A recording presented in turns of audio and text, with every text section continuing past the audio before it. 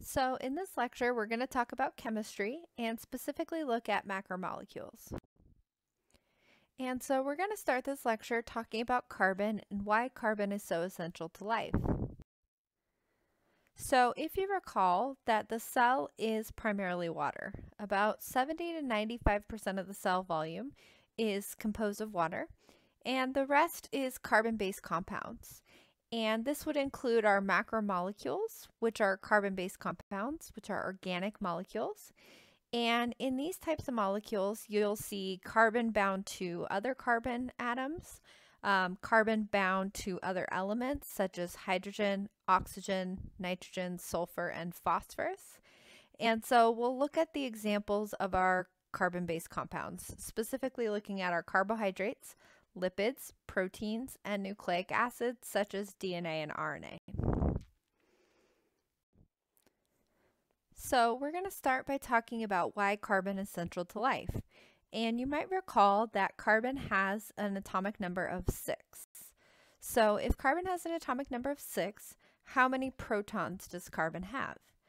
And recall that the number of protons is equal to the atomic number. So carbon has six protons, which are positively charged, which means how many electrons would carbon have? The answer is six. So it has two electrons in the first shell and four in the second shell. That brings us to six. How many more electrons does carbon need to fill its outer shell? And the answer is four. So carbon will need four more. So because of the fact that carbon has four valence electrons and it needs four more, carbon will make four covalent bonds. So we have one covalent bond, two covalent bonds, three and four, and that will help carbon to fill its outer shell. And so carbon has a great bonding capacity due to its structure because it's able to form a maximum of four covalent bonds. And recall that covalent bonds are stable, and so this forms these strong, stable covalent bonds, including other carbon atoms as well as other atoms like hydrogen and oxygen. So when we look at our hydrocarbons, hydrocarbons are going to be made of carbon and hydrogen. And remember that carbon and hydrogen have similar electronegativities and that's because they're both half full. So carbon has four valence electrons, it needs four more. Hydrogen has one valence electron, it needs one more. And so in terms of their electronegativities, carbon and hydrogen have similar electronegativities. And because they have similar electronegativities, recall that when they share electrons, when they form a covalent bond, they're going to share their electrons equally neither one is going to pull harder for those electrons. Remember that this will be a non-polar covalent bond. Non-polar, remember, think of non-pulling. Neither atom has a greater electronegativity, and therefore they share those electrons equally. Now, if these molecules are non-polar, they are also hydrophobic because remember, hydrophobic means water-fearing, and in order for things to be hydrophilic, water loving, they have to have some sort of charge, whether that be a partial charge in a polar molecule or a full charge in an ionic molecule or an, in an ion. Either way, a charge is what allows something to interact with water. If we're talking about a molecule that's nonpolar, there are no charges because those electrons are evenly distributed and so there's not going to be one part of the molecule that's partially negative and one part that's partially positive. There's no charge overall in the molecule. And as a result, those molecules can't interact with water. And that's why these are considered to be hydrophobic. Now, when we look at hydrocarbons, they can exist in many different forms.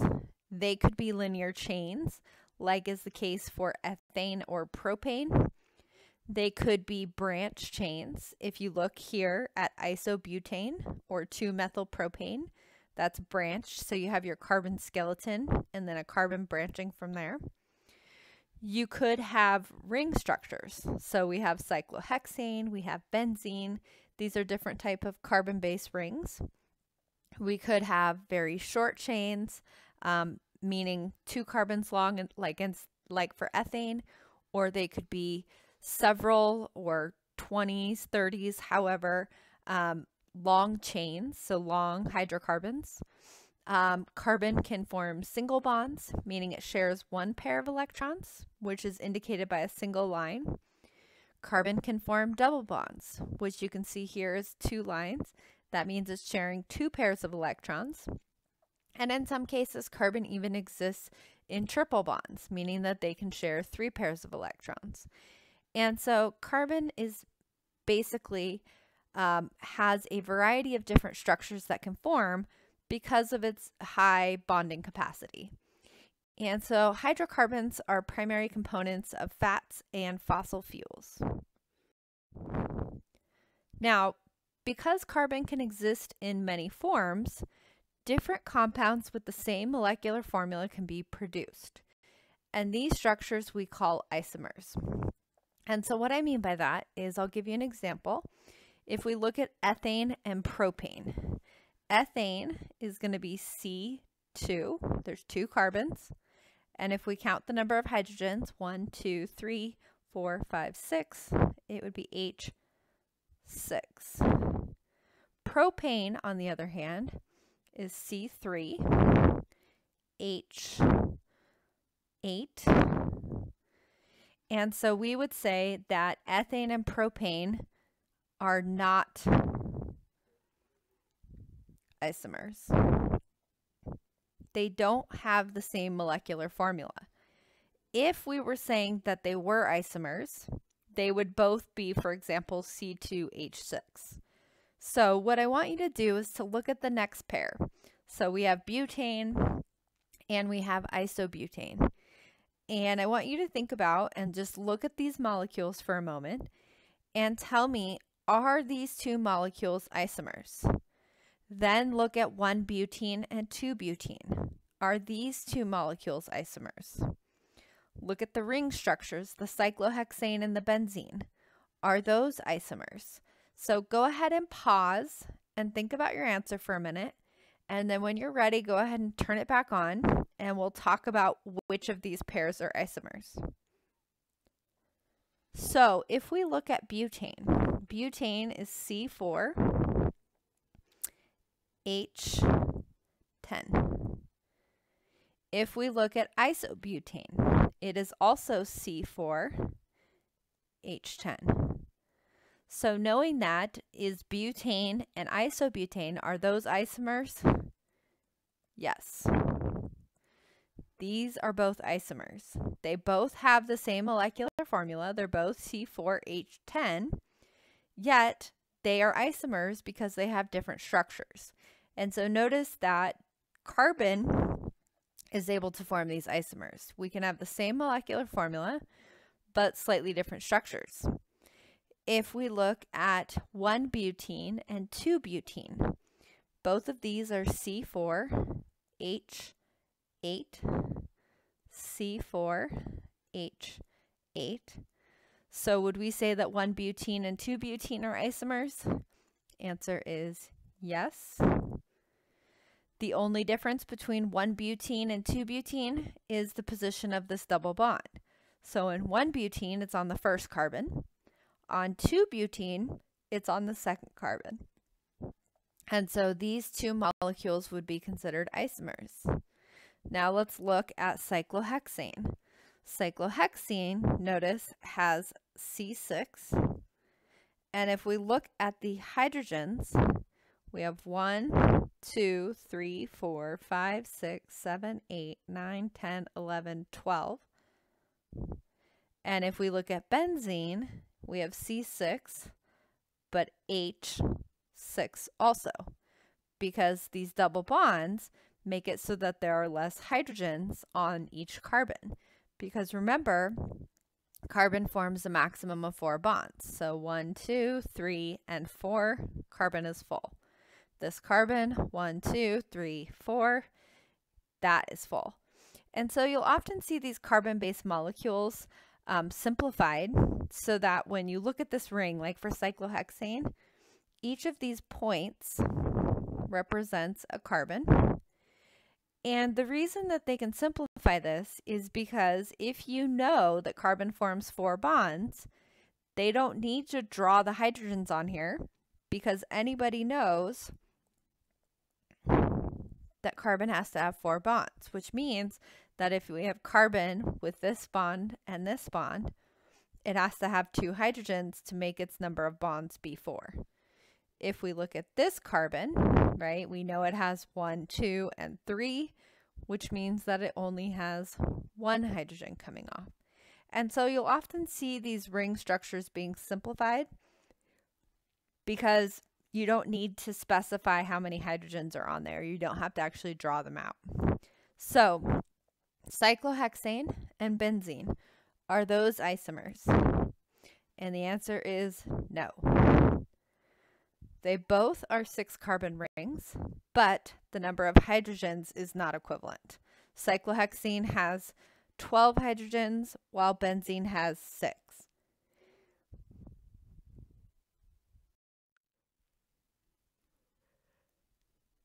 So, the chain of carbon atoms in an organic molecule is referred to as its carbon skeleton. And then coming off of the carbon skeleton, we can have varying what we call functional groups. So a functional group is a group of atoms that confer a special biological property on a carbon-based molecule. And these functional groups affect a biological molecule's function in a characteristic way. For example, if we look at ethane, ethane is going to be a two carbon molecule ethane is a gas. If we replace one of those hydrogens with something called a hydroxyl group, which is basically an OH group, that hydroxyl group now makes that molecule be an alcohol. And so now we've gone from ethane to ethanol, which is drinking alcohol. So by simply adding that oxygen to that carbon-based molecule, we went from ethane, which is a gas, to ethanol, which is going to be a liquid. And so this functional group, this hydroxyl group, basically gives this carbon-based molecule a characteristic property. It makes it become an alcohol. And so organic compounds have unique properties that depend on the size and the shape of the molecule and the groups of atoms or functional groups that are attached to it.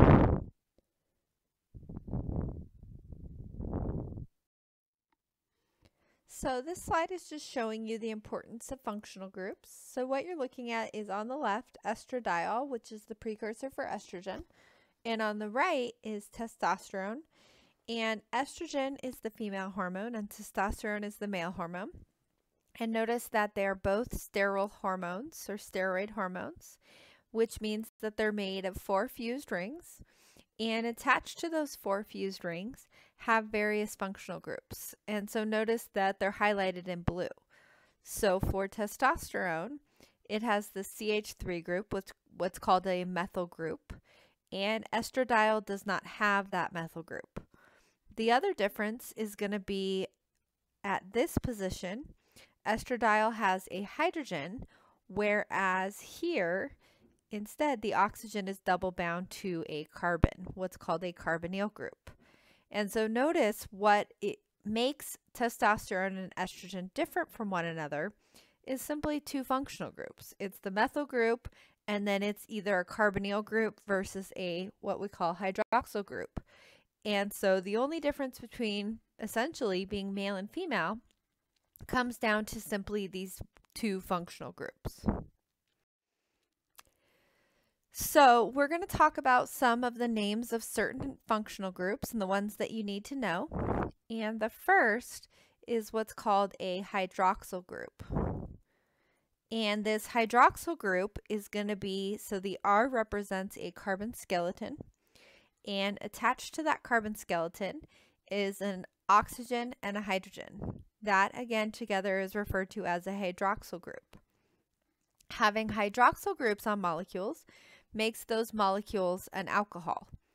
And so some examples of molecules that um, contain these hydroxyl groups, um, certain lipids will have them, as well as carbohydrates, which are going to be your sugars. So glucose, for example, has hydroxyl groups um, all over it.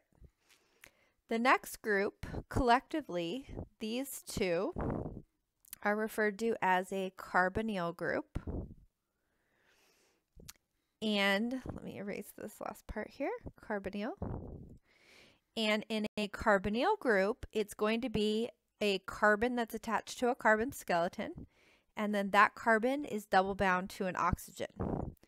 Now, if that carbon double bound to an oxygen is at the end of a molecule, it's referred to as an aldehyde. And the way I remember that is aldehyde begins with a vowel, end begins with a vowel. So aldehydes are on the end.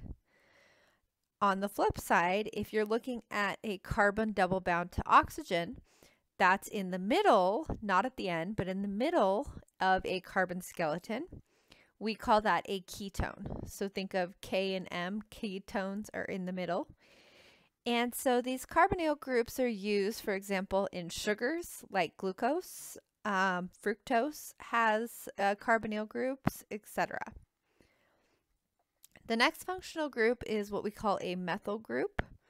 And a methyl group is a CH3 group. It's a carbon bound to three hydrogens. And methyl groups are used in DNA. So it's used to mark DNA and it affects what we call gene expression, which we'll talk about later on in the semester. Um, it's also important for energy metabolism. Next, we have our amino groups. And our amino groups is going to be a nitrogen bound to two hydrogens. And so amino groups are going to be important for proteins, for example. We are going to learn that the building blocks of proteins are referred to as amino acids. So the building blocks are amino acids. The reason they're called amino acids the amino part comes from the fact that that building block has an amino functional group. These two, the ester and the ether, you don't need to know these for the exam.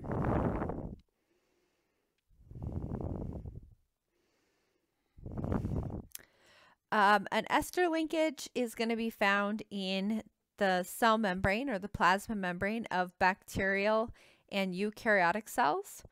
Ether-linked lipids are going to be found in archaeal plasma membranes. And so that's a difference in terms of their function um, for where they're found.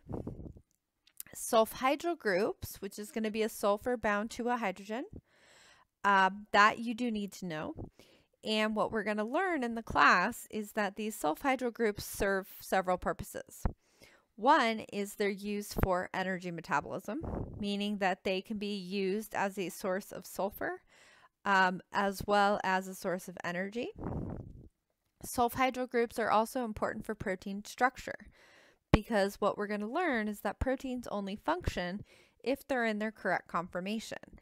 And in order for proteins to be in their correct conformation or shape, the protein or the amino acids need to interact with one another.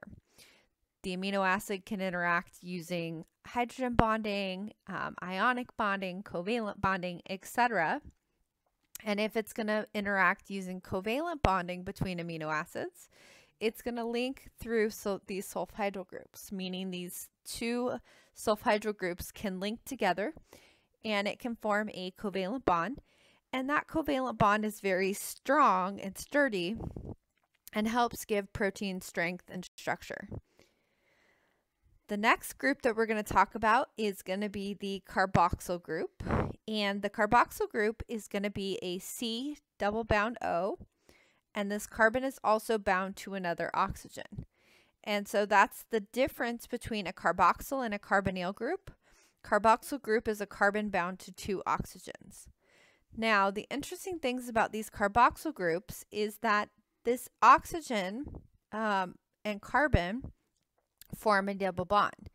And what can happen is that this double bond does something called resonates, meaning the electron can come And now the carbon can be sharing the electrons with this oxygen. And so when this electron is being shared here, what that does is that causes hydrogen to leave because oxygen, remember, can only form two bonds. So if the electron is shared over between this carbon and this oxygen, that will cause that um, hydrogen to leave. And therefore, these carboxyl groups act as acids, meaning that they will add or donate hydrogens to the solution. Because when that double bond resonates, it's going to kick off that hydrogen. It's going to increase the hydrogen ion concentration of the solution. And so this is going to be found in organic acids. Um, you'll find these in lipids. Uh, proteins also have carboxyl groups. Um, for example, again, the building blocks of proteins are referred to as amino acids.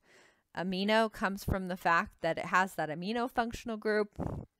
Acids come from the fact that it has this carboxyl group, which acts as an acid.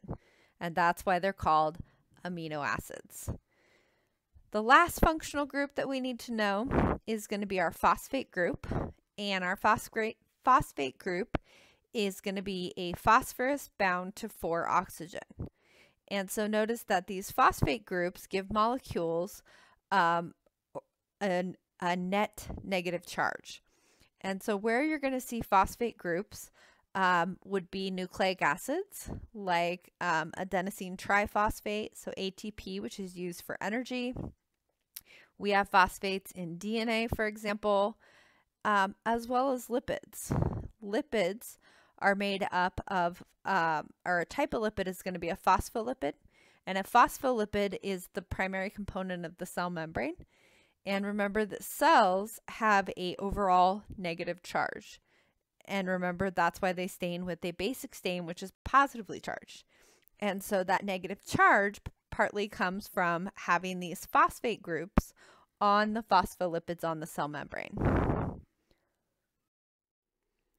So what I want you to do now is to test your knowledge and see if you can identify the functional groups in an amino acid.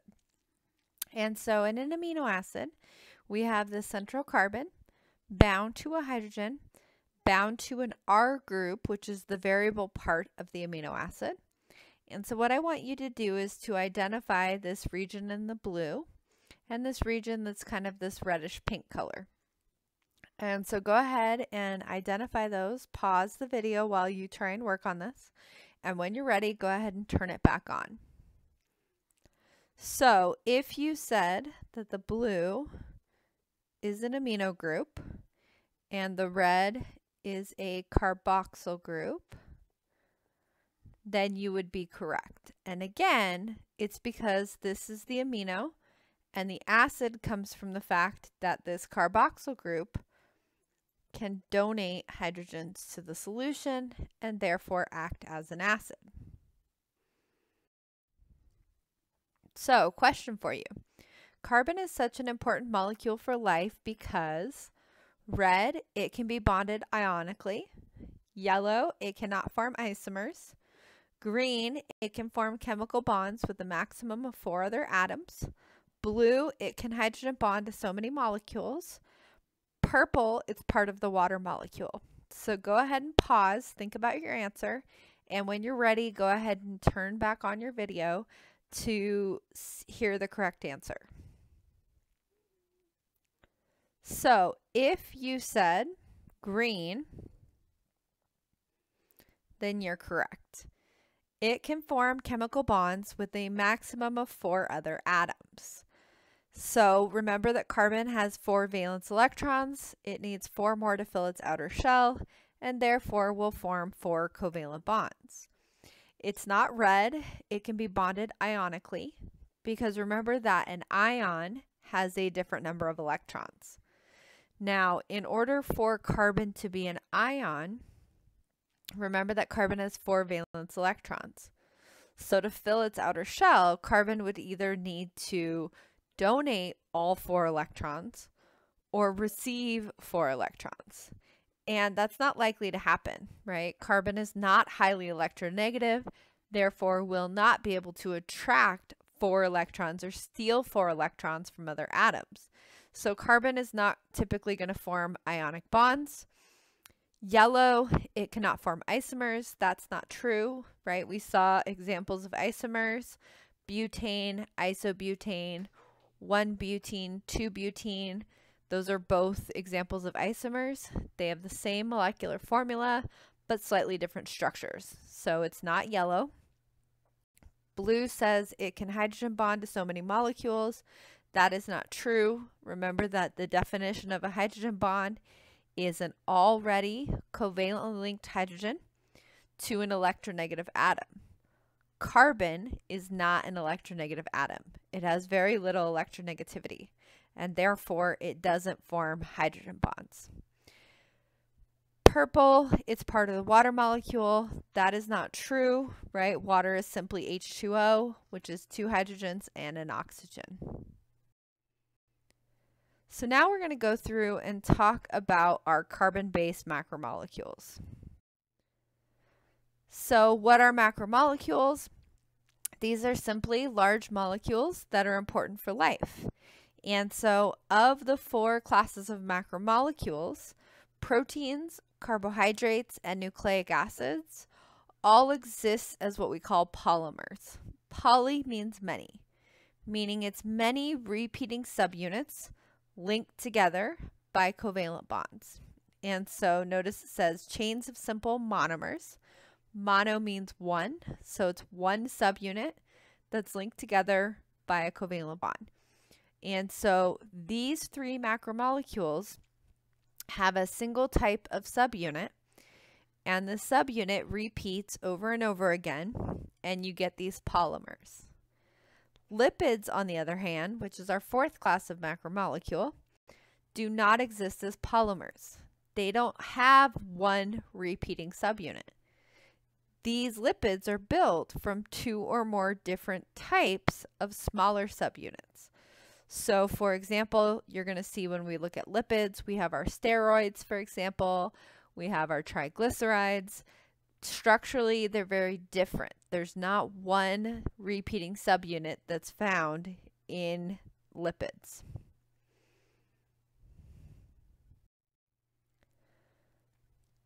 So again, monomer, mono means one. It's a single building block that can be linked up to form a polymer. And poly means many. So it's many repeating subunits, um, similar types at least, um, linked together. And polymers can be thousands of monomers long. So an example of a monomer would be a monosaccharide. Mono means one. Saccharide is sugar. It's one simple sugar. So for example, glucose. Glucose would be an example of a monomer. The polymer of glucose is called a polysaccharide, meaning many sugars linked together. And an example of a polysaccharide would be starch.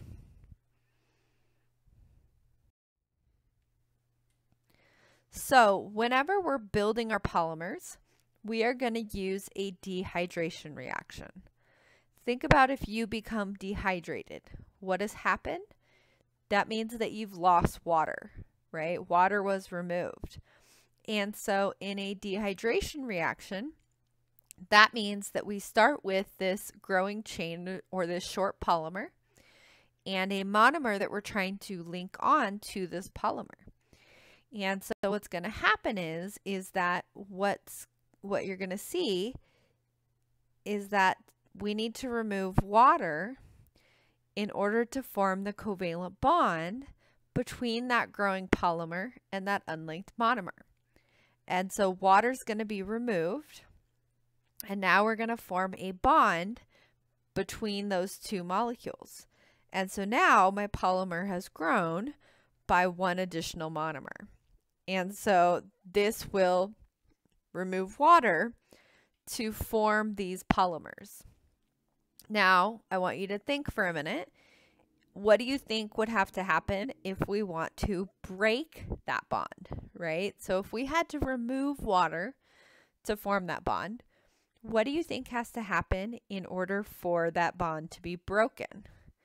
And if you said that water would need to be added back, you would be correct. And so water gets added back to break that bond. And that's referred to as hydrolysis. Hydro, water, lysis, breaking. So hydrolysis is using water to break that bond. And so we've looked at several hydrolysis reactions so far in lab, right? We looked at starch hydrolysis, for example. And that is we were looking at the breakdown of starch, removing glucose from that molecule of starch. And so that's hydrolysis. We have to put in water in order to break that bond. And so building polymers, dehydration, breaking them down is going to be hydrolysis.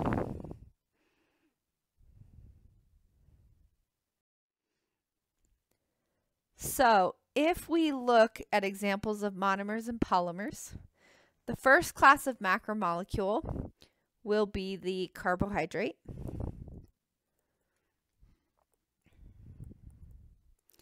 And when looking at a carbohydrate, the type or the name of the, of the monomer is going to be a monosaccharide.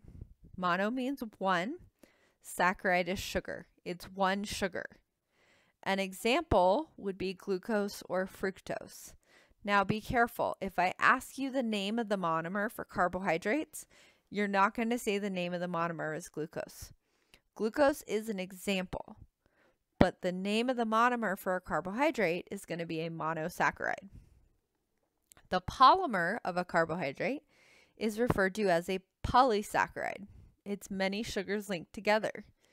And we will talk about some examples. We'll look at starch and glycogen and cellulose, etc. Um, those are examples of polysaccharides. If we're talking about our macromolecules being proteins, our monomer is going to be our amino acid. That's the building block of proteins. Examples, arginine, leucine. In lab, we looked at tryptophan for our indole test, right? Those are amino acids. The polymer is referred to as either a polypeptide or a protein. Now, polypeptide, that's many amino acids linked together.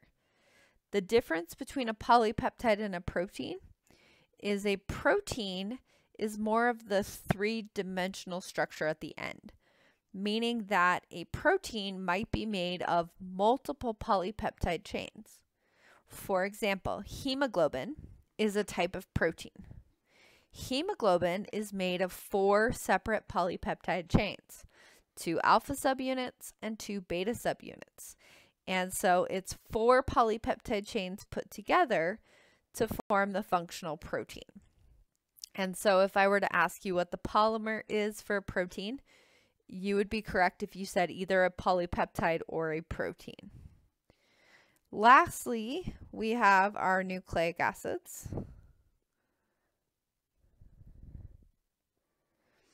And our monomer for nucleic acids would be our nucleotide. And a nucleotide is made of three parts, a sugar, a phosphate, and a nitrogenous base. If we link nucleotides together, the polymer that we're going to get is going to be a nucleic acid. And so an example of a nucleic acid um, would be DNA or RNA. Now notice we're missing a class of macromolecule on this list. You might notice that we don't have lipids here on this table. And recall back to what we talked about, why wouldn't we see lipids on this table? And the answer is that lipids don't have monomers and polymers. There's not one repeating subunit that's linked together to make up a polymer for lipids.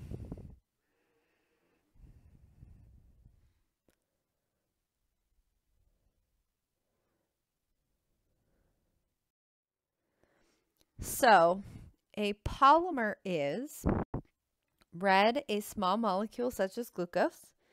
Yellow, an element that forms two or more bonds. Green, an animal that eats more than one type of food.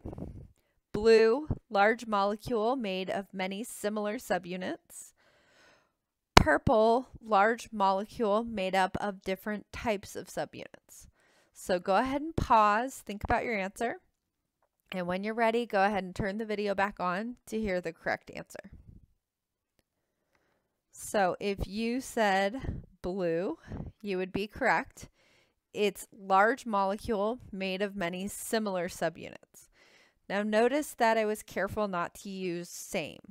And the reason is, is that they will be of the same type, but they don't necessarily have to be exactly the same. What I mean by that is if we look at our protein, which is our polymer, proteins are amino acids that are linked together. It could be leucine linked with arginine, linked with methionine, glycine, alanine, etc.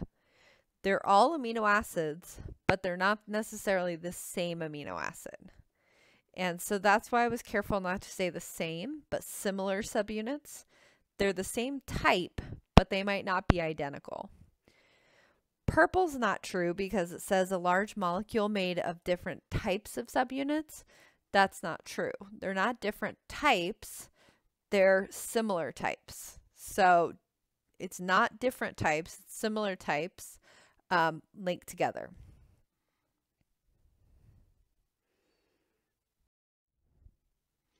So we're going to look at now our types of macromolecules.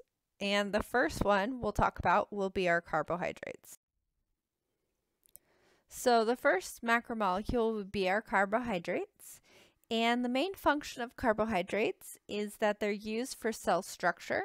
For example, um, cellulose makes up the cell wall of plants. That means that this carbohydrate is used for the structure in the cell. Carbohydrates are also a primary energy source, meaning that organisms organisms use them as a food source. The atoms that you will find in a carbohydrate will be carbon, hydrogen, and oxygen with the formula CH2O, referring to uh, like the number of carbons. So let's say we're talking about a six carbon sugar it would have a molecular formula of C6H12O6. So there would be twice as many hydrogens as there would be for carbon or oxygen. Um, the monomers of a carbohydrate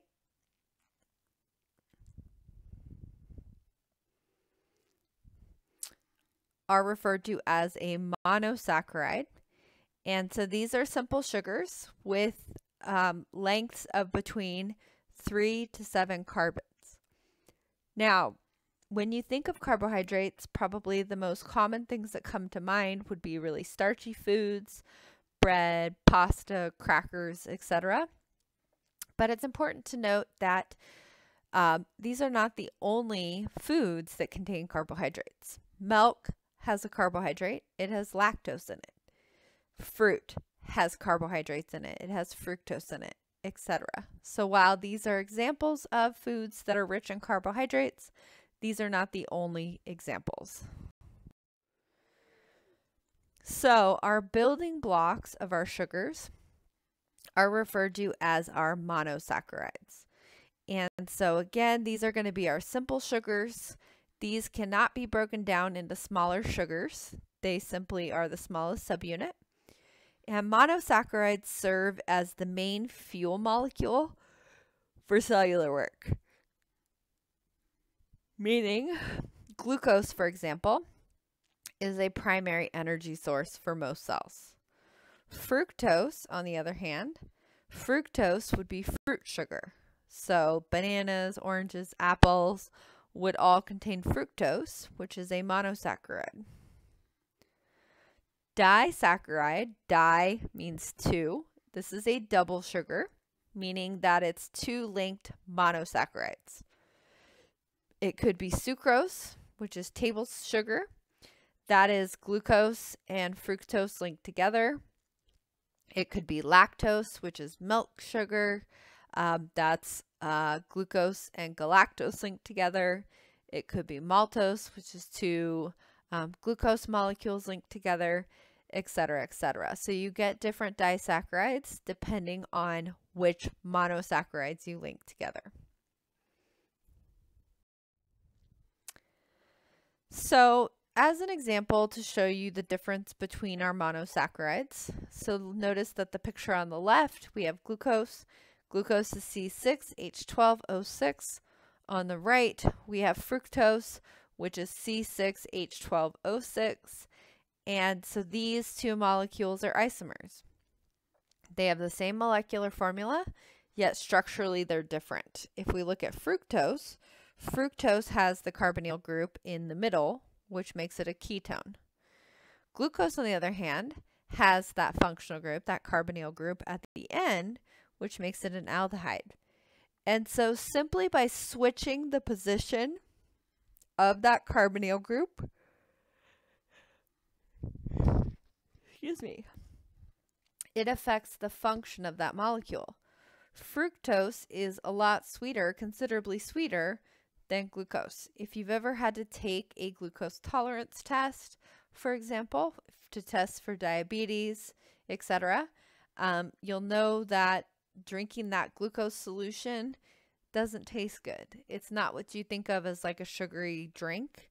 It has a very different taste. And so even though glucose and fructose have the same molecular formula, structurally they're different, which makes them behave in very different ways.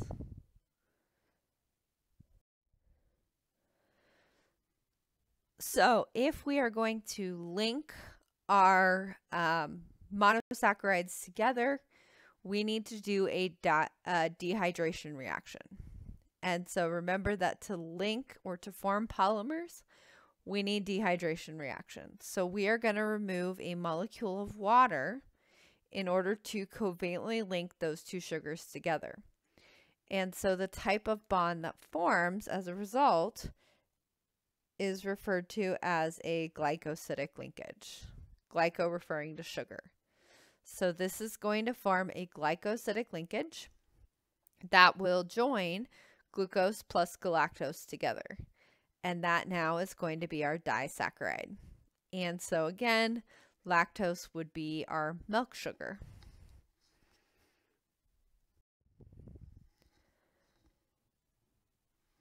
So our polymer of carbohydrates are referred to as a polysaccharide, meaning many sugars linked together.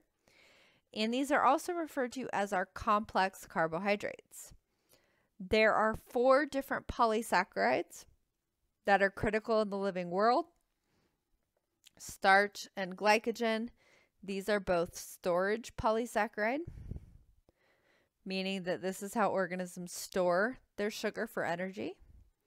Cellulose and chitin are both structural.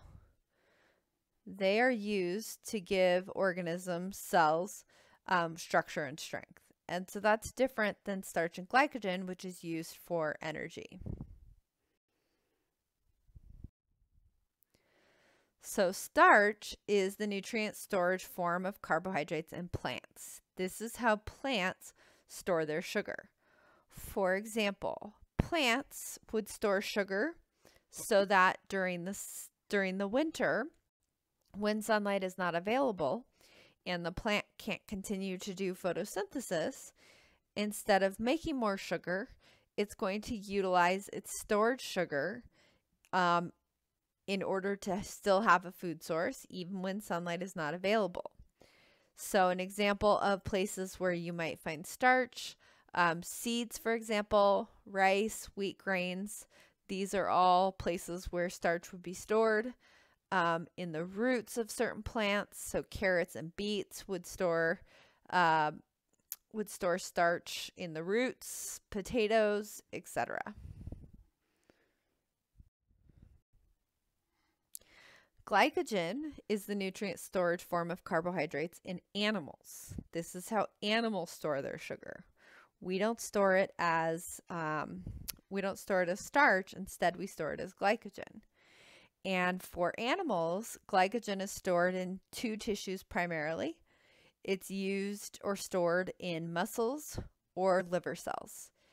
And when the when the body requires glucose, let's say for example, you haven't eaten for a while.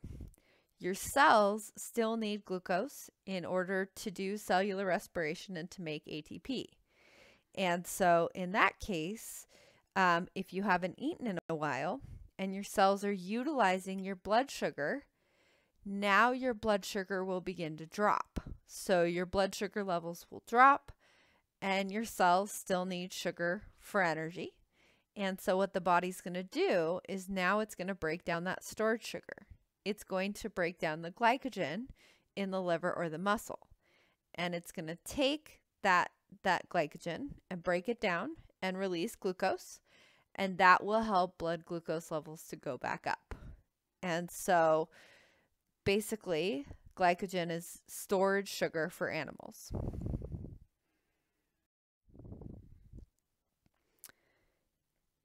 Cellulose, remember, is a structural carbohydrate. It's a rigid structural carbohydrate found in the cell walls of many organisms, for example, plants or algae. This is the most abundant organic compound on Earth.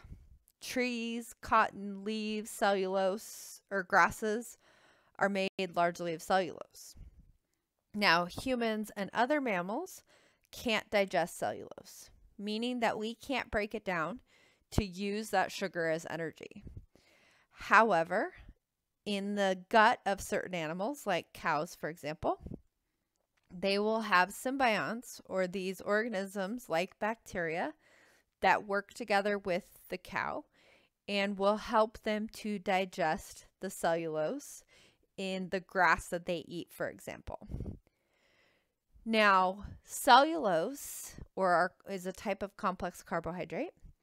And although we can't break it down for food, meaning for energy, it doesn't mean that we shouldn't eat foods that have cellulose in them. Because while cellulose is not used for energy per se, it's a major source of insoluble fiber, meaning that our bodies don't break it down and it helps us to feel full longer, which helps us to not overeat. It also helps us to move our food through our digestive tract um, because, as gross as it sounds, one of the things that happens when we eat fiber is that the gut will start to produce a mucousy substance. And that mucus that is produced will help to move the food through the digestive tract. And so, if you've ever heard of somebody being constipated, um, a doctor will say, you know, you should try eating a high fiber diet, right? Because that fiber is going to help to basically stimulate that mucus, which will help to move food through the digestive tract. Our last complex carbohydrate is going to be chitin. And this is a tough carbohydrate that forms the external skeleton of arthropods. It's also found in the cell walls of fungi. And again, our bodies or our cells can't digest chitin, uh, but chitin is used to give shape and strength to the structure of the organism. And so we're going to move on now to talk about our lipids. So, lipids, there are three general classes. We have our triglycerides. Um, our triglycerides are otherwise known as our fats. We have our phospholipids, which will be our membrane lipids. We have our sterols, which you can see in the bottom left here. Uh, these are going to be our cholesterols and our steroid hormones like estrogen, um, testosterone, etc. They're made of four fused rings. But notice that if you look at the sterol and compare it, excuse me, with the fat, and you compare that with the phospholipid, that structurally they're very, very different, right? They don't have one repeating subunits and remember, we said that lipids don't have these monomers and polymers. But what you will notice is that one of the things that happens in lipids is they are primarily hydrocarbons, meaning they're made primarily of carbon and hydrogen, not only carbon and hydrogen, but mostly. Now, if you recall, carbon and hydrogen have similar electronegativities.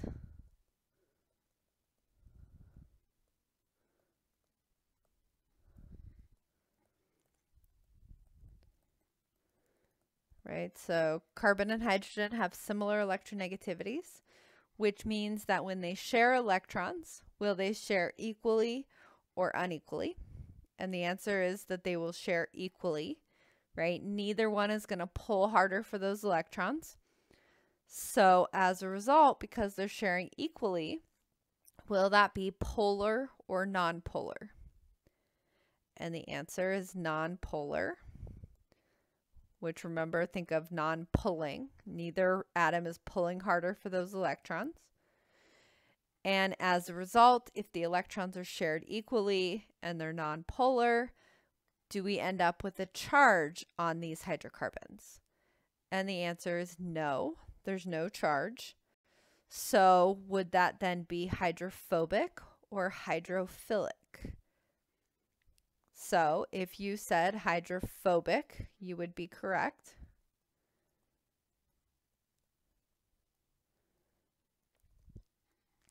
They would be water fearing, meaning they don't interact with water because there's no charge on that lipid in order for it to interact with the water. And so this is why, for example, oil and water don't mix because it's largely hydrophobic. It's primarily hydrocarbon, carbon and hydrogen, similar electronegativities. Because of their similar electronegativities, they're going to share electrons equally, which means that they're going to be nonpolar. When they're nonpolar, they're not going to have a charge and therefore they will be hydrophobic. And so what makes something classified as a lipid is that it's primarily hydrocarbons, it's nonpolar, and it's hydrophobic. Otherwise, in terms of structure, they're very different.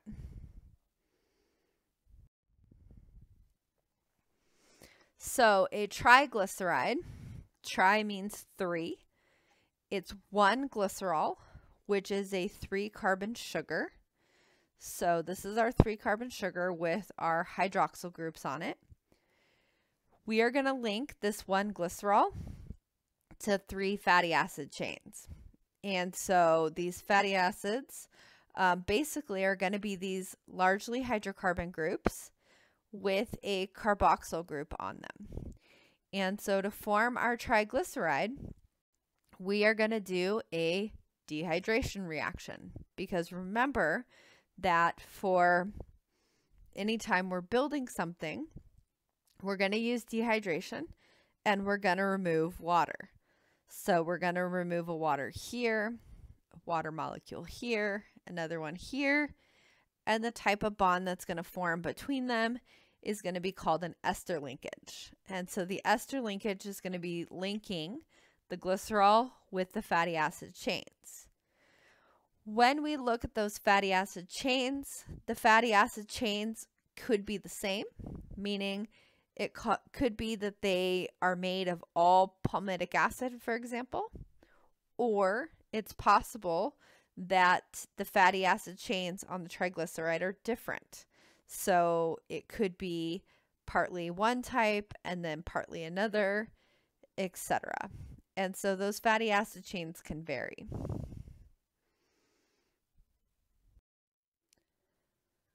So when we look at our triglycerides, our fatty acid chains can be saturated fats. And what that means is that when we say that a fat is a saturated fat, recall that when you see these little points, these represent carbons and that we don't see the hydrogens on there because we know that depending on how many um, how many bonds carbon can form, right? Carbon forms four, that we know how many hydrogens will be coming off of it. And so if we look at a hydrocarbon chain, which is many carbons linked together, we know that, so here's the rest. Here's our hydrogen and our hydrogen, etc.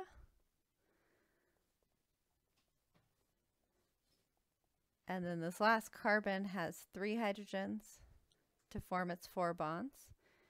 And so if we say that a fatty acid is saturated, it means that it's saturated with hydrogens. It has the most number of hydrogens that it can possibly have. And that happens when carbon forms all single bonds between the carbon atoms. Notice what happens if I add a double bond here. So if that double bond is there, right, remember that carbon only forms four bonds. So one, two, three, four. This hydrogen goes away. This hydrogen goes away. So when we add a double bond, it's no longer saturated with hydrogens. It's missing some of those hydrogens, and therefore we would then call that an unsaturated fat. So the difference between a saturated fat and an unsaturated is saturated fat has all carbon single bonds and therefore is going to be saturated with their hydrogens. When this happens, carbon forms these straight linear molecules, meaning that there's no kinks or bends in this hydrocarbon chain. And so as a result, you can imagine that if these fatty acid chains represent papers, like if you had a stack of papers that are all flat, they would stack tightly on top of one another. And therefore, because they could pack in tightly, saturated fats are typically solid at room temperature. And so they're solid because these fatty acids can can stack very tightly and therefore they're more likely to be solid at room temperature. Saturated fats are more commonly associated with fats coming from animal products, um, etc. Unsaturated fats, remember, are when we have our double bond. And therefore, the molecule is not saturated. Whoops, let's not put that one there the molecule is not saturated with the hydrogens anymore because when we have a double bond, that basically makes it so that hydrogen has to be removed because carbon can only form a maximum of four bonds. And so if you've ever heard of a monounsaturated fat, what that simply means is that that fat has one double bond. A polyunsaturated fat, on the other hand, has more than one double bond, two, three, etc. And so our unsaturated fats have at least one carbon-carbon double bond. The molecule is not saturated with hydrogens. And what ends up happening is, is wherever that double bond is, that can cause a kink in the molecule. So now you can imagine that if you don't have flat papers, but instead you have one paper that's folded into, let's say, like a V-like structure, and you try to stack those on top of each other, they're not going to lay as flat because of that kink, right? There's going to be a gap and the density is going to be lower, meaning that for unsaturated fats that have a kink, they're not going to pack in as tightly. And because they don't pack in as tightly, these types of fats are more likely to be liquid at room temperature. And so these are fats usually more commonly associated with plants or fish, etc. These would be more likely to be unsaturated fats. So, what is the function of our fats? Um, fats are used as an energy storage.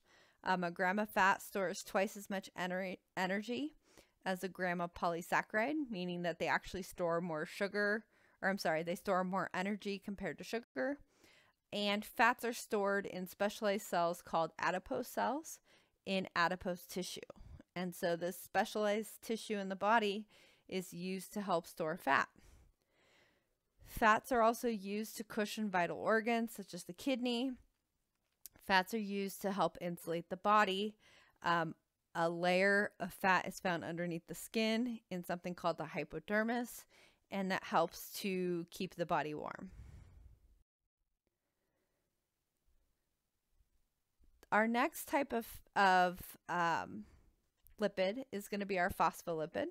And our phospholipid is going to be one glycerol, which remember is a three carbon sugar, two fatty acid chains, one phosphate group, and one variable alcohol group. And so what you can see is that if you look at that phosphate group, that phosphate group is charged. Fatty acid chains are primarily hydrocarbons. Those are going to be nonpolar. So you end up with this polar head, meaning that this one part of the molecule that has a charge and wants to interact with water. and the nonpolar tails or the or the hydrophobic tails. So you'll hear this referred to as the hydrophilic head. It's water loving. It has charges that want to interact with water. And the hydrophobic tails, which are water fearing and don't want to interact with water. So phospholipids are what we call amphipathic. One end is going to be polar, right? Interacts with water, that's the head. And the other end is nonpolar and won't interact with water. And that's going to be our fatty acid tail.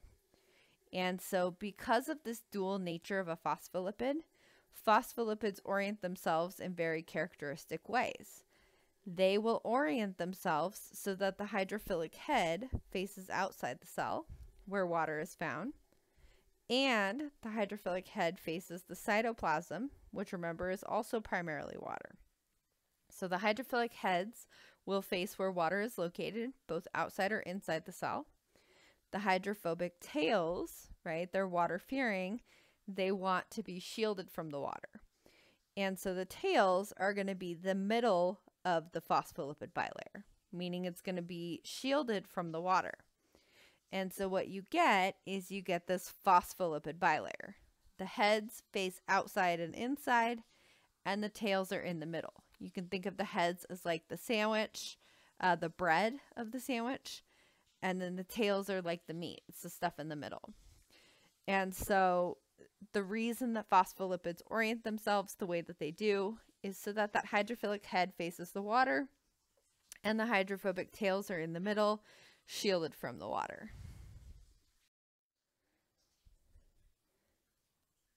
Our last type of lipid is going to be our steroid. This is going to be a carbon skeleton with our four fused rings and varying functional groups. An example of a steroid would be cholesterol. And cholesterol serves a variety of purposes. One, it's found in the membrane of certain organisms like animals. Um, and it's used to help maintain the correct fluidity of the membrane, meaning to make it so that the membrane is not too solid or not too liquid, but the correct viscosity.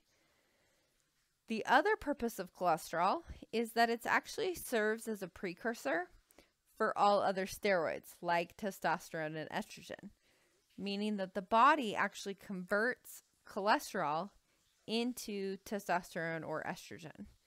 And so when you think of cholesterol, you don't want to always think of cholesterol as being bad. Cholesterol actually does have a very important use, but it's too much cholesterol that has a negative outcome. So, question for you A newly discovered lipid extracted from a rare Polynesian plant is solid at room temperature. This is more likely to be red, a saturated fat, yellow, an unsaturated fat, green, a phospholipid, or blue, none of the above. So go ahead and take a minute, pause your video, and when you're ready, go ahead and turn it back on and get the answer. So go ahead. So if you said red, a saturated fat, you would be correct because a saturated fat, remember, has no double bonds. No double bonds means that it is going to uh, form linear molecules. And those linear molecules are going to stack on top of one another much better and therefore are more likely to be solid at room temperature. The next group of macromolecules that we're going to look at will be our proteins. Proteins serve a variety of functions um, in organisms. Uh, the first thing that proteins can be used for is that they can serve a structural role, uh, meaning that they can be used to provide support. For example, could be used to give hair or horns their toughness, or in the case of humans, right, keratin in our skin is used as a structural protein. It is a very a very hardy protein.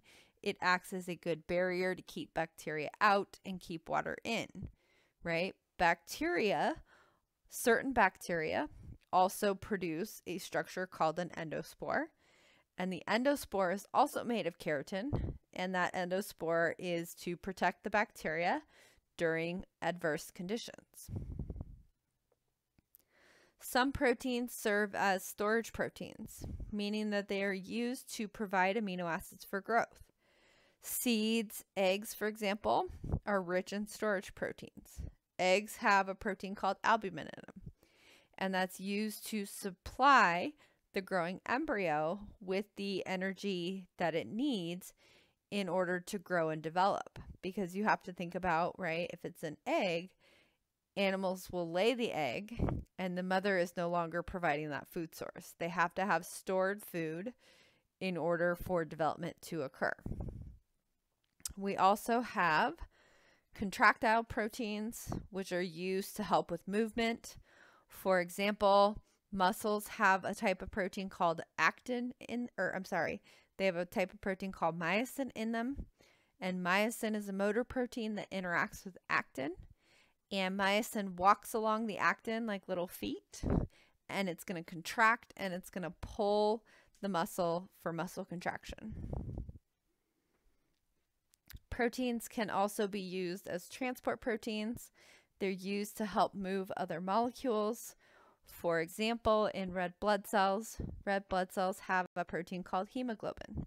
Hemoglobin is a protein that will bind to oxygen and will transport oxygen throughout the body. So when the red blood cells circulate to the lungs, they'll pick up oxygen. And then when the red blood cells move through the circulatory system, they'll drop ox oxygen off at the various tissues. And so hemoglobin would be a transport protein. And then lastly, we have proteins that can act as enzymes. Enzymes are proteins that help speed up chemical reactions. Um, and so we've talked about a variety of enzymes in lab that help speed up different chemical reactions. So proteins are the polymers. And again, the name of the monomers are called amino acids. And amino acids are going to be our building blocks for our proteins. Remember that our polymer can either be called a protein or a polypeptide. The difference being polypeptide is just the chain of amino acids. Proteins can be multiple polypeptide chains put together. In terms of the atoms that you're going to find in proteins, you're going to find carbon, hydrogen, oxygen, nitrogen, and sometimes sulfur in certain amino acids. Now, our amino acids are building blocks. There are 20 different naturally occurring amino acids. And what what you can see if you look at the structure of the amino acid we have this alpha carbon. So this is the central carbon. We have an amino group and a carboxyl group. And again, that carboxyl group adds as an acid, acts as an acid, meaning that it can donate hydrogens to the solution, which is why we call this an amino acid. Now, attached to this alpha carbon, we also have this hydrogen and then the part that makes the amino acids different is going to be this R group. So the R group is the variable part of the amino acid. That's the part that's different in the 20 different amino acids. And so each R group has a specific shape and chemical property. For example, uh, glycine would have its R group would be a hydrogen.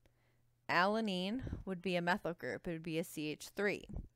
If we look down here, we have leucine. So notice the yellow represents the R group. Leucine is primarily hydrocarbons. Or we could have serine, which has a hydroxyl group at the end. And so these R groups come in three basic flavors or three basic categories. We can have R groups that are nonpolar or hydrophobic, like leucine, because again, leucine is primarily hydrocarbons carbon and hydrogen, similar electronegativities, therefore they share electrons equally. Again, that means they're nonpolar. They're also hydrophobic. We could have R groups that are polar, right, or hydrophilic. They will interact with water. Serine would be a hydrophilic amino acid, because that hydroxyl group, that OH group, is going to be polar. And it's polar because oxygen and hydrogen have different electronegativities. And so oxygen and hydrogen will not share equally. Oxygen has a greater electronegativity, therefore will pull harder for those electrons. Oxygen will become partially negative, hydrogen becomes partially positive. Now it's polar and it's hydrophilic. Other R groups can be charged or ionized, meaning that if, let's say, you had a carboxyl group at the end of the R group, that can become ionic when it donates its hydrogens to the solution and you're left with an O minus on one of the oxygens. And so these R groups have three basic types, nonpolar, polar, or charged. And depending on what R groups you have, will dictate how the protein functions.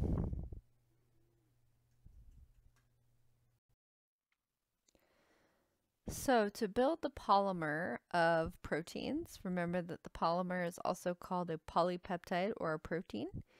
And just like building any other macromolecule, in order to build the macromolecule, it's going to be a dehydration reaction. So to form that covalent bond between the monomers, we have to remove a water molecule. And so where does that water molecule come from? Well, it comes from one amino acid's carboxyl group and an adjacent amino acid's amino group. And so we're going to link that carboxyl group with the amino group. And when we do this, we're going to remove a water molecule. And what's going to form is going to be a peptide bond. And so a peptide bond is a covalent bond that links the amino groups or amino acids together. So instead of it being a carboxyl group, it's now a carbonyl group, but we have this peptide bond formed between the amino acids. So what we end up with is we end up with this polymer that has two distinct ends. One group is referred to as the N-terminus, the N-terminus meaning it's the free amino group. Notice this amino group is free, but this one is not, and this one is not because it's participating in this peptide bond. So we have our free amino end here, and on this end, we have the C-terminus, otherwise known as the carboxyl end, because that's the free carboxyl group. This carboxyl group is in the peptide bond, that carboxyl group is in the peptide bond, and so we have one free C-terminus, one free N-terminus, and so proteins have two distinct ends, an N-terminus and a C-terminus. And proteins can be several thousand amino acids long. So these can be these very long polymers of amino acids linked together. Now, in terms of um, amino acids, amino acids exist in either of two what we call stereoisomers, meaning that structurally they look the same, except they're mirror images of one another. And so you can imagine this like your right and your left hand. While very similar, they, if you were to lay them on top of one another, they don't line up perfectly because they're mirror images of one another. Amino acids are the same way. They have what's called an L amino acid or a D amino acid. The L amino acid is the one that's found most commonly in nature. It's the most more common of the two. You'll learn later that the D amino acid, um, for example, um, in a capsule, uh, Bacillus anthracis uses D glutamic acid. And as a result, because the immune system doesn't recognize that D amino acid, it doesn't know how to break it down. And as a result, Bacillus anthracis, its capsule, is resistant to phagocytic digestion, meaning the body can't break it down um, because it's this um, isomer of glutamic acid that the body doesn't recognize.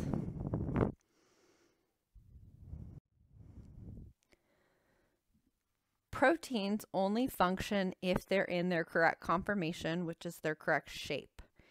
And linear chains of amino acids fold in very characteristic ways, and it's dependent on the sequence of the amino acids. So if we look, and we look at on the left here, we have our influenza virus, and on the right is a protein called an antibody. And antibodies have these Y shapes, and the antibody has this region that notice is complementary to these this influenza virus. And so it's the shape of this antibody that allows it to recognize this influenza virus. And if that shape is changed, the antibody wouldn't work in the right way. And so conformation or folding and the shape of the protein plays a really big role. Um, in the purple, we see lysozyme, which is an enzyme found in tear and saliva. It's used as a protection against bacteria because it breaks down um, peptidoglycan in bacterial cell walls. And enzymes are typically more globular proteins because they have these grooves, what we call an active site, where a particular substrate comes in and the enzyme does that chemical reaction. On the right, we have collagen, and collagen is a structural protein. And notice that collagen is made of three intertwining polypeptide chains.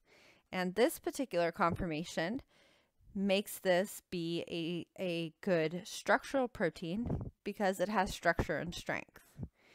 And so we're going to look at the four levels of protein structure, what we call primary, secondary, tertiary, and quaternary.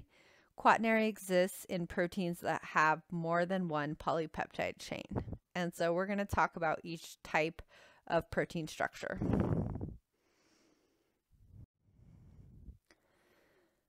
Primary sequence is going to be simply the sequence of amino acids along the chain. So talking about the sequence from the N terminus, because remember that proteins have two distinct ends, an N terminus and a C terminus. So the primary sequence would be what is the sequence of the amino acids going from the N terminus to the C terminus. So we have, in this example, glycine, threonine, glycine, glutamic acid, serine, lysine, cysteine, proline, etc. Those amino acids in order would be the primary sequence of the protein. And the correct sequence of amino acids is determined by the cell's genetic information, meaning it's the cell's DNA that's going to tell the cell what amino acid sequence to, to link together. And so later on in the semester, we'll talk about how DNA codes for protein. But it's the cell's genetic information that will tell the cell what amino acids to put in what order. Secondary structure now is not simply the sequence of the amino acids, but now it's the folding, the beginning of the folding of the protein. And so when we look at secondary structure, there are two main types, what's called an alpha helices and an alpha helices is going to be a helical shape. Think of old telephone cords which have the coils coming down. Or they could have beta pleated sheets. Beta pleated sheets are kind of an accordion-like structure where it folds back and forth. And so both of those structures though are dependent on hydrogen bonding between the backbone of the protein sequence, meaning that it's not the R groups that are interacting. It's those carbonyl groups with the amino groups that are in the peptide bonds. It's those those parts of the amino acid that are interacting. So this is going to be an interaction among the backbone of the protein versus a interaction among the R groups. And so this is basically just coiling and pleating of the chain held together by hydrogen bonds within the backbone. That's due that's different than tertiary structure or third level of structure, which is now going to be this irregular folding. And this is going to be determined by the R groups, meaning it's the R groups that are now going to interact with one another. It's not the backbone of the protein, but instead it's the R groups. And there are several types of interactions that can happen. Uh, we can get hydrophobic interactions between two R groups that are both hydrophobic. We could get hydrogen bonding between um, two R groups. We can get an ionic bond between a positively charged R group and a negatively charged R group. We can even get a disulfide bridge, which is going to be a covalent bond between um, adjacent sulfur, what are called sulfhydryl groups, um, found on cysteine amino acids. And so when we look at this, if you think about these types of interactions, so hydrogen bonds, hydrophobic interactions, covalent bonds, ionic bonds, and you think about that certain bacteria live in, let's say, very hot environments, for example, you want to think about that one of the things that allows certain organisms to live in different environments is that they have certain adaptations that allow them to survive and to thrive in those types of conditions.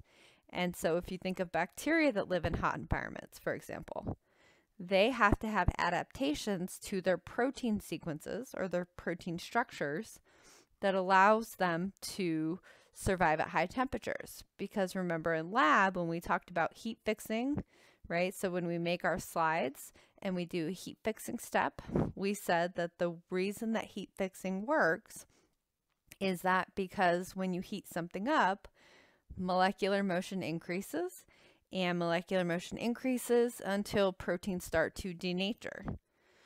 So what that tells you is that bacteria that live in hot environments must have some types of adaptations that help protect against their proteins denaturing at higher temperatures. And so, if you think about the types of interactions found in tertiary structure, one of the reasons certain bacteria can live in high temperatures is because their proteins have more of one type of bond than another. So if you think about these interactions, which of the type of bonds would be the strongest? And the answer would be the covalent bond. And so that cysteine um, amino acid, which forms the disulfide bridge for organisms that live in high temperatures, their proteins are adapted to have more cysteine amino acids to form more disulfide bridges because that covalent bond is stronger, which helps resist the protein's denaturing. And lastly, we have our quaternary structure. Um, this is not found in all proteins. It's only found in proteins that are made of more than one polypeptide chain. So quaternary structure will be the interactions between two or more different or two or more polypeptide chains. And these types of proteins we call oligomers. They're made of multiple subunits. And so you can have multiple polypeptides forming these large multi-unit proteins. So for example, in the case of hemoglobin, hemoglobin is made of four polypeptide chains.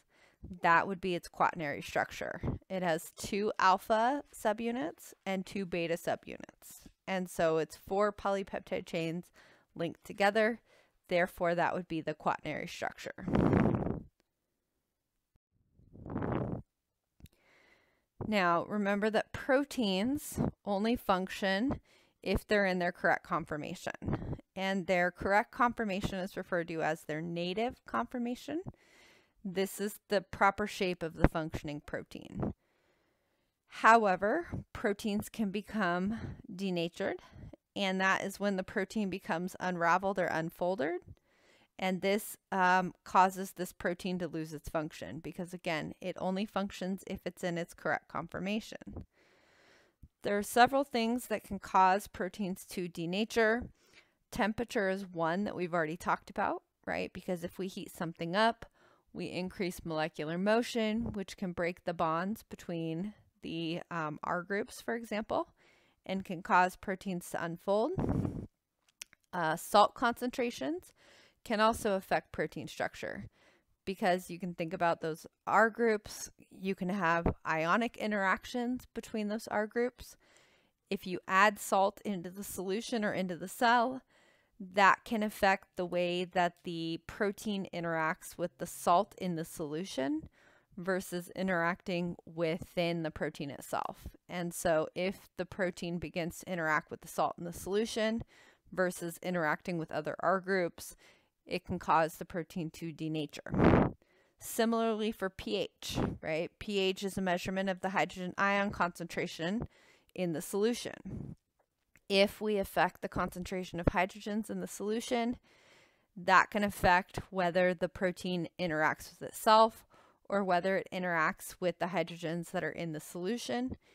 And if the protein interacts with the hydrogens in the solution, it'll cause the protein to unfold and it'll cause it to become denatured. And so these are just some of the ways through which proteins can be denatured. Um, detergents also do the same thing. Basically, anything that causes the protein to unfold will denature that protein. And this is why a high fever can be so bad for our body because proteins in the body can start to denature above 104 degrees Fahrenheit. And so if the body temperature gets above that, it starts to denature proteins and proteins do a lot of different things in the body and therefore the cells don't function properly once the proteins become denatured.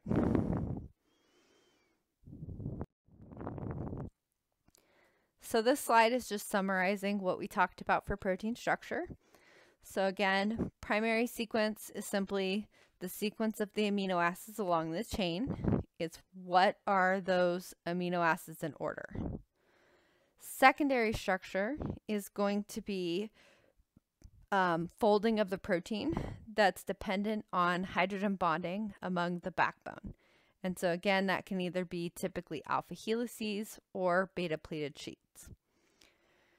Tertiary structure is going to be when the protein begins to fold more and it folds because of the types of interactions found in the R groups, meaning that you could have um, ionic bonds or hydrophobic interactions or covalent bonds, etc. And then lastly, we have quaternary structure, which exists in proteins with two or more polypeptide chains that are linked together.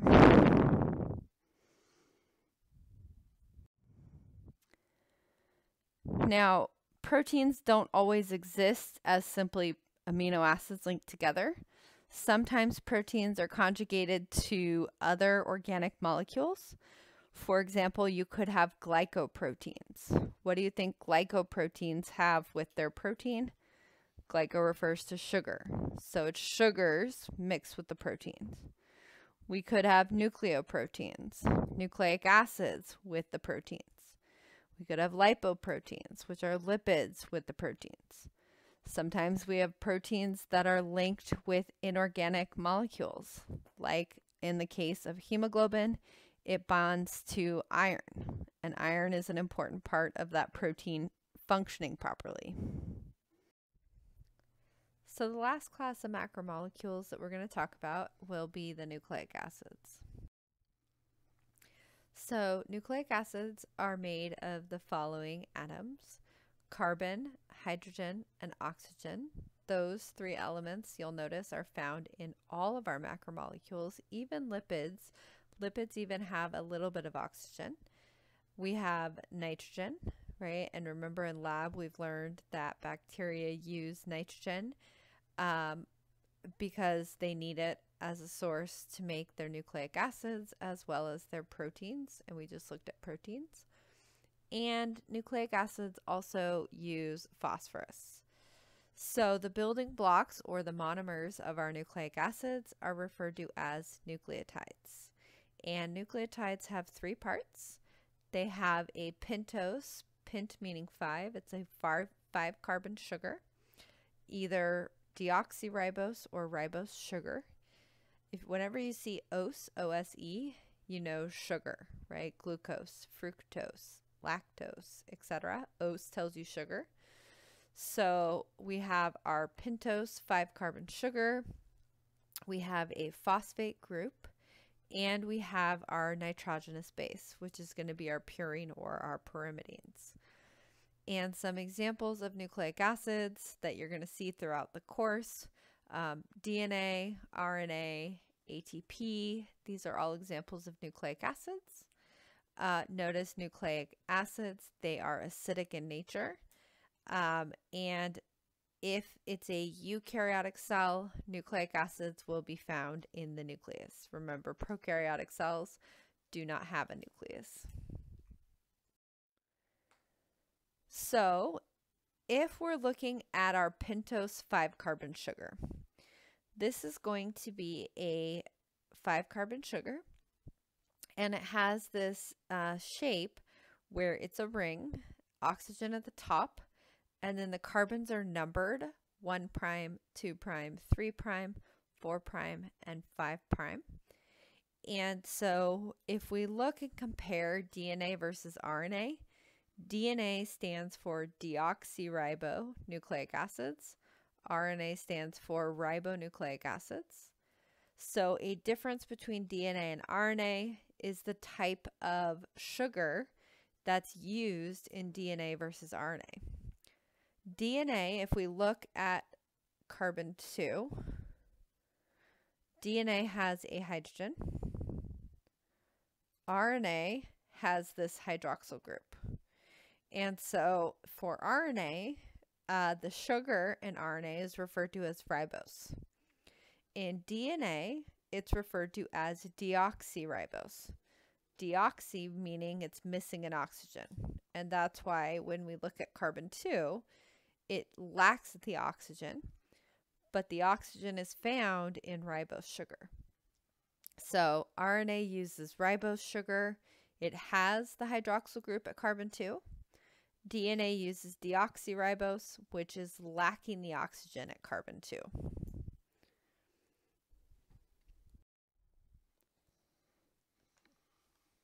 So when we look at the nitrogenous bases, these are going to be these nitrogen-rich planar molecules. And the nitrogenous bases can be broken down into two categories. We have pyrimidines and purines. And the way I remember this is pyrimidines, longer name, smaller rings, meaning they're only one ring big. Purines has a smaller name, but bigger rings, meaning they're two rings big. And so there are three bases that are found in both DNA and RNA cytosine, adenine, and guanine. Those three bases are found in both DNA and RNA. However, a difference between DNA and RNA, DNA uses thymine, RNA instead uses uracil. So a difference between them again, DNA uses thymine, RNA uses uracil. But the other three bases they have in common. Now, the way I remember which ones are pyrimidines and which ones are purines is pyrimidines has a Y in it. Cytosine and thymine, which are both pyrimidines, have a Y in them. Adenine and guanine, no Y, therefore they're not pyrimidines, but instead they are purines. When we are linking nucleotides together, we get our phosphodiester linkage. And again, the way that this works is that we have this oxygen. This is a carbon one, two, three, four, five. Same thing here. One, two, three, four, five. And when we link our nucleotides together, when we link our monomers together, Again, same thing like always, we're going to use a dehydration reaction. We need to remove water in order to form that covalent bond between the nucleotides. And the way that this works is we link this 5' phosphate group, so here's our 5' phosphate, with the 3' hydroxyl group. And so this water molecule is going to be removed, and we get this covalent linkage which is referred to as a phosphodiester linkage.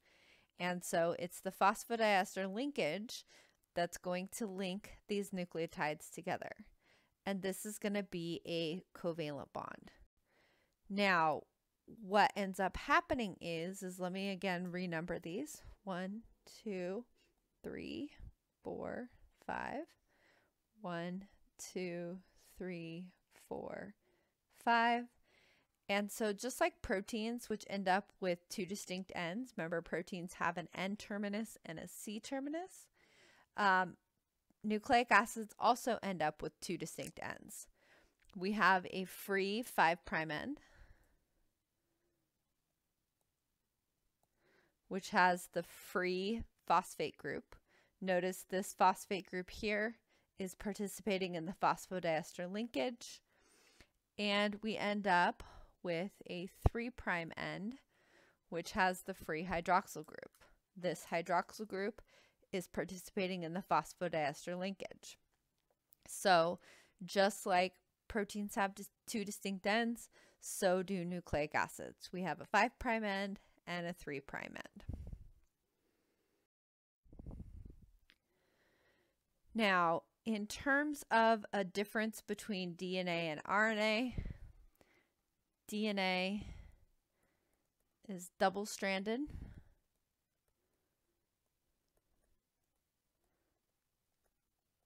Meaning two strands are linked together. RNA is single stranded. And what that means is that for DNA, it's like a ladder where the backbone is going to be our sugar phosphate groups.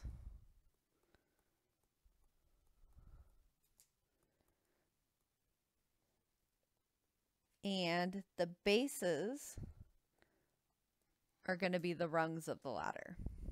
And so what we're going to get is these nitrogenous bases will form hydrogen bonds with one another and they will form what's called complementary base pairing.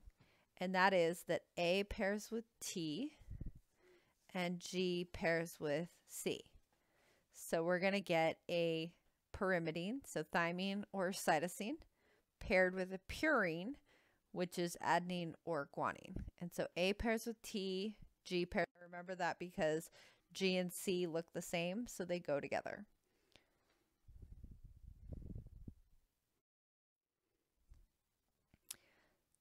So again, if we're looking at DNA, which is double-stranded, DNA is going to exist as a double-stranded helix.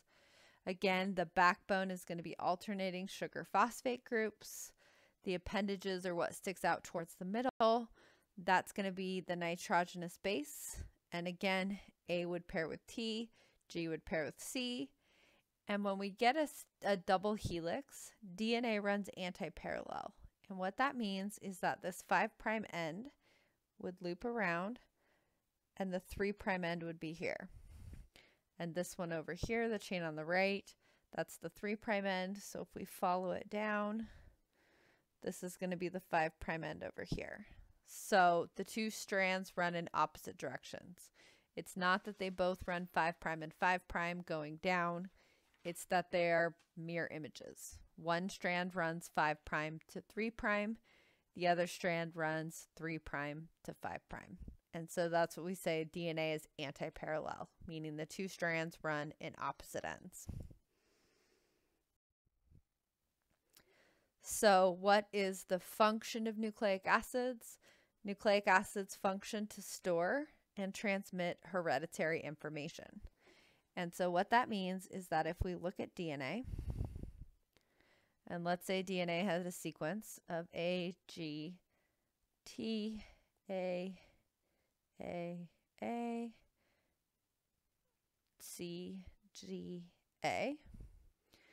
And it's double stranded, so that's T, G would pair with C, T is A, T, T, T, G, C, T what happens is, is DNA is responsible for storing genetic information.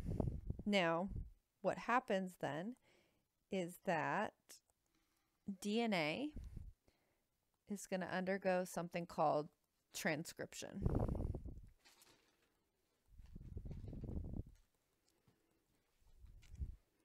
It's going to be transcribed to a similar language. It's going to be transcribed from DNA to RNA. Now, they're not identical, right? We've already talked about some differences between DNA and RNA. DNA is double stranded, RNA is single stranded. DNA um, uses thymine, RNA uses uracil.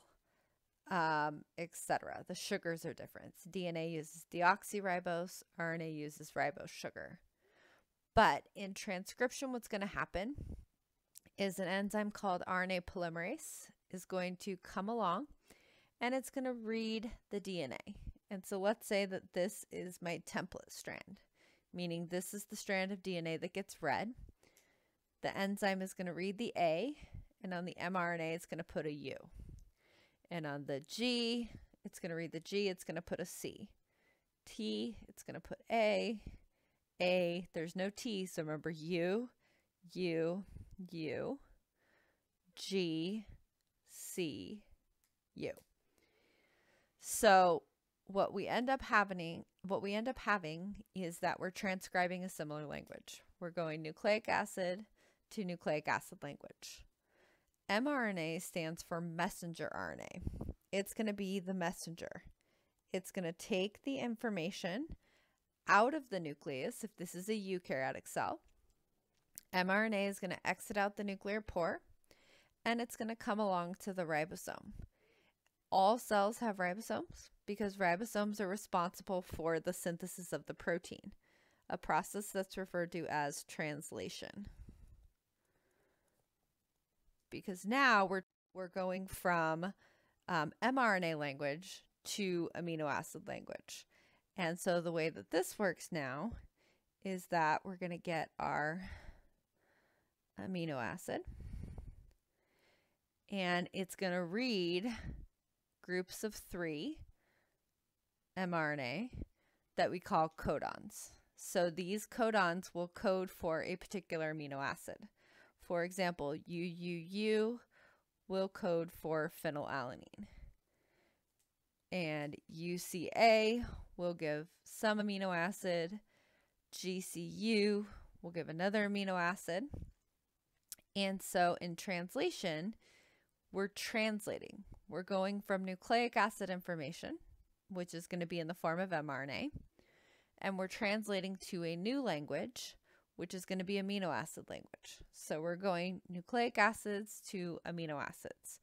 And so notice that in this way, DNA is going to store genetic information. RNA is going to be responsible for transmission of this hereditary information. And in this way, this is how the, the cell's genetic code, its DNA, will tell the cell what proteins to make. Now, just to show you how important this sequence is, sickle cell anemia is a genetic disease. And in sickle cell anemia, it's caused by a single base pair change, meaning it's simply one nucleotide different. It's one letter different in the beta globin gene. And so we get a single base change in the DNA, which then means we get a single base change in the mRNA, because again, the mRNA comes from the DNA, which also leads to a single amino acid chain change in the beta globin protein. So this disease is caused by one single letter different. So how does this work? Well, if we look at the normal beta globin sequence, valine, histidine, leucine, threonine, proline, glutamic acid, glutamic acid. In the case of sickle cell anemia, we get one single nucleotide different. One single letter in the DNA sequence is different. That one DNA sequence change leads to one amino acid change. So we go from glutamic acid at residue number six to now valine. Now you might wonder, well, so what? It's one amino acid different. How much difference can that actually make? And the answer is if you change the R group of the amino acid, it can greatly affect the way that the protein folds. Because remember that protein structure is dependent on interactions among R groups, for example. And so in the case of valine, valine is a hydrophobic amino acid. Glutamic acid is an ionic amino acid. So you're totally changing the property of this one amino acid. You're going from something that's ionic to now something that's hydrophobic. And as a result, it's going to change the way that the protein folds. And so instead of forming this normal beta subunit, it's going to form this mutated subunit where the protein folds different and it has this exposed hydrophobic region. Now, when we look at the structure of hemoglobin, remember I said that it's made of four subunits, two alpha subunits and two beta, two alphas and two beta. In the case of sickle cell anemia, the two beta subunits are mutated. And so overall, the protein has a different structure. And what ends up happening is is that these hemoglobin molecules because of this misfolding, the hemoglobin molecules tend to stick together. And so you end up with these chains of hemoglobin all stuck together. And you can imagine red blood cells being like a rubber band, right? If you have your rubber band and it's um, in its native conformation, right? It's circular in nature, etc. However, if I take that rubber band and now I put a stick in it, like a toothpick in it, right? Meaning a chain of hemoglobin all stacked together. If I take a toothpick and put it in my rubber band, my rubber band is going to elongate and it's not going to be this nice round circle anymore. And the same idea happens with the red blood cells. So for normal red blood cells, they have this nice concave disc round shape. However, in the case of sickle cell anemia, because of that one amino acid difference, that beta globin gene uh, or beta globin protein misfolds, hemoglobin molecules stick together, we get these chains of hemoglobin, and as a result, it causes the red blood cells to take on a sickle shape. Now, all of this happens because of one single nucleotide difference. And now you might wonder, well, okay, so we have these sickle celled red blood cells. Why does that matter? Well, it causes problems for several reasons. One is these abnormally shaped red blood cells get stuck in the tiny capillaries, which is where um, gas exchange typically happens in the body. And so these capillaries are these little tiny blood vessels, and these sickle celled red blood cells get stuck in those capillaries and they cause reduced blood flow to the tissue. Um, that can lead to tissue, tissue damage where this happens. Um, it can lead to a lack of oxygen in the tissue. Um, it can cause pain in the tissue where the blood clot is forming, etc. The other problem is that it greatly affects hemoglobin's ability to carry oxygen. So, when hemoglobin molecules stick together, like for sickle cell anemia, hemoglobin is not very effective at picking up oxygen. It's not able to pick up as much oxygen as, say, normal hemoglobin would be. And so, because of the fact that it's not as effective in picking up oxygen. Your cells need oxygen in order to make ATP for energy. And so when you get reduced, um, when you get reduced oxygen to the tissues, what's going to happen is, is the cells become fatigued, right? Because they need that oxygen to make ATP. If they're not making enough ATP, they're not functioning opt optimally. And that's where the anemia part comes in. So when we say that you're anemic, right, you're not getting enough blood flow. Um, your your red blood cells are not efficient at carrying oxygen. And as a result, the patient experiences like extreme fatigue and tiredness because their cells are not making enough ATP. And so all of these all of these problems happen in a patient's body when they have one single letter different in their DNA sequence. And so this DNA sequence is extremely important um, in terms of how the protein functions. So what I want you to do is to just take a minute and compare and contrast DNA. So for example, what is the pentose sugar in DNA? What is the pentose sugar in RNA? DNA, does it have a phosphate group? Yes or no? RNA, does it have a phosphate group? Yes or no? In terms of nitrogenous base, which bases do DNA have? Which bases do RNA have? How many strands does DNA have? How many strands does RNA have? What is the linkage between the nucleotides? So, what holds nucleotides together? So, what I want you to do is go ahead and pause the video, work on this, and then when you're ready, go ahead and push play to see the answers. Okay, so DNA, pentose sugar is going to be deoxyribose, which remember means it's missing oxygen at carbon 2. RNA, on the other hand, uses ribose. Ribose has oxygen at carbon 2. So that's a difference between DNA and RNA. In terms of phosphate group, does DNA have it? Yes. Does RNA? Yes. Because they're both made of nucleotides, and nucleotides have a five carbon sugar, a phosphate group, and a nitrogenous base. So that's the same between them. They both have a phosphate group. In terms of nitrogenous base, they both have a C G A C G.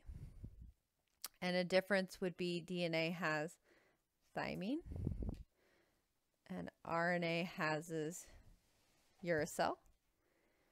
Number of strands, DNA has two, RNA has one linkage between nucleotides. It's called a phosphodiester linkage. And that's the same for RNA. A phosphodiester linkage. So, question for you. Which of the following nitrogenous bases is not found in an RNA molecule? So which one is not found in RNA? Is it red, adenine, yellow, guanine, green, thymine, blue, uracil? So pause your video and when you're ready, go ahead and push play to get the answer. So if you said green, thymine, you are correct. Thymine is found in DNA only not in RNA. Adenine is found in both. Guanine is found in both. And uracil is found in RNA only. And so that concludes our video.